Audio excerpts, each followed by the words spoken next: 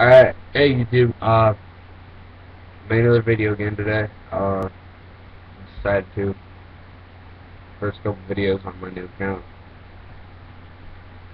Remington 870, is what we're going to be talking about today, um, very nice gun, I actually have a youth model, 20 gauge, very durable, I would trust it through the coldest days, I know I can trust that gun and it will never misfire on me, nothing. Uh, through the past couple years, me and my brothers have gone through them. And we still have the original ones we first bought, or more. But we've never gotten rid of one. Uh, this gun has lasted me since I first started shooting.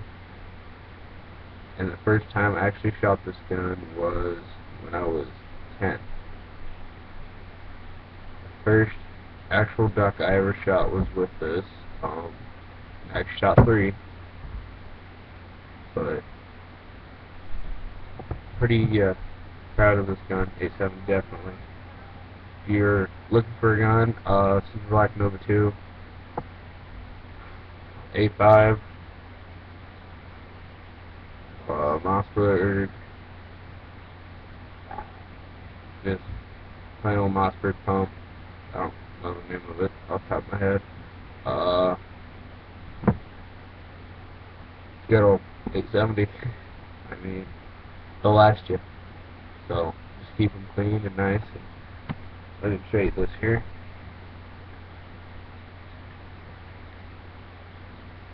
I don't think you can even see down my barrel. Nah.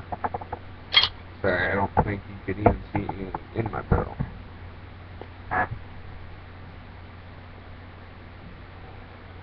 Little birdie, you can see down there. Oops.